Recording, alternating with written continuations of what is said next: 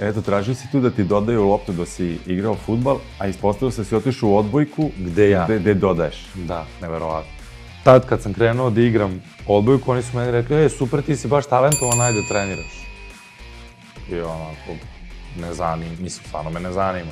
Igraću sve, neću odbojku.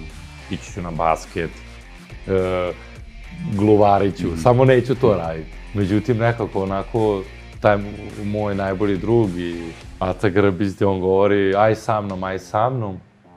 I ja odem i trener kaže ti moraš da ostaneš, ja ću tvoje roditelje da kontaktiram, ti si talentovan. Borislav Miljković, Bora. I on mi onako, ti moraš da igraš odbojku i ja sam zbog toga i počeo. Bio onako grublji, nije s naših podneblja, onako bio malo, bio onako malo grublji.